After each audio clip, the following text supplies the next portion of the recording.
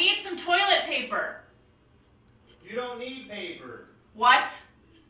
I bought a Biffy for our toilet. Just push the handle back and it rinses you off.